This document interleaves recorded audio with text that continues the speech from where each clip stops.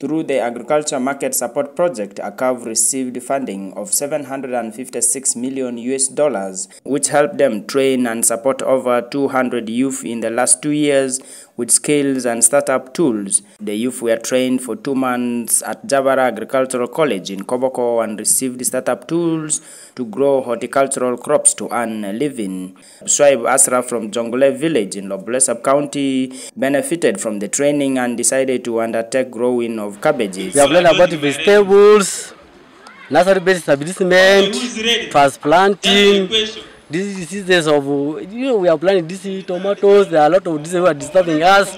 We have learned more about that.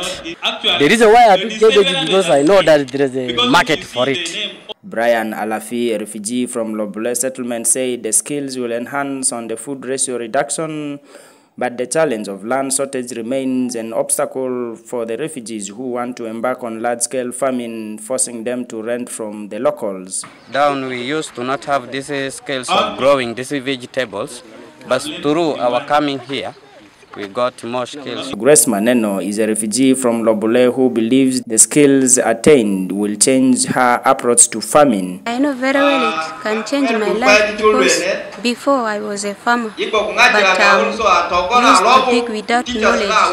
But with this knowledge, I know very well it will change my life. Hope Abalo, the program associate agriculture market support with World Food Program challenged the youth to grow more greens and sell to boost their local economy. But that is what we say. Ah, our soil in West Nile is not okay. That's why the tomatoes are good. So let us start from what we have received.